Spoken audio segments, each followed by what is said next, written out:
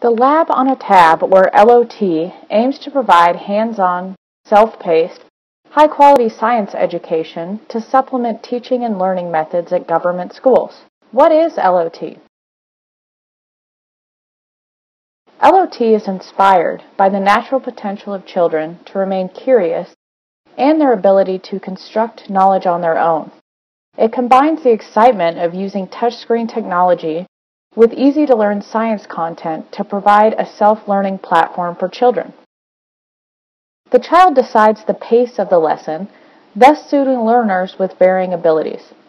There are assessments at each stage to evaluate whether the learner has understood and assimilated the content. So, how does LOT work?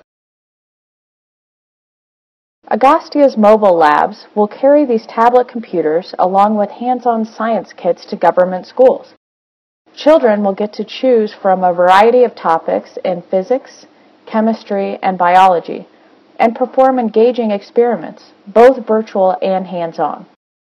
The learners will also be able to access resources like interesting books and videos, as well as earn rewards and progress to higher levels.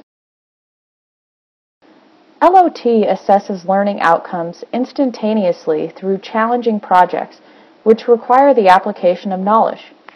For instance, the child here is making a musical instrument using materials such as boxes, strings, and glasses. This activity requires the learners to apply the concepts of sound that they have just learned in physics.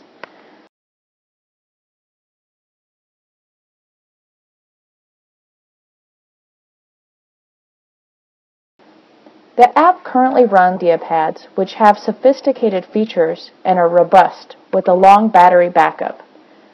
These tablets are suitable even for schools with power shortages and limited internet connectivity. What really makes LOT different? LOT is the only learning tool that combines technology with hands-on activities. It has been especially designed for government school students who may not have experienced interactive learning or touchscreen mobile technology before. The multisensory learning methods used in LOT ensure that all types of learners benefit from the tools. Audio visuals facilitate both the auditory and visual learning, while hands-on activities and touchscreen technology exercise the student's motor and tactile skills. The content is available in the learner's local language to facilitate better understanding.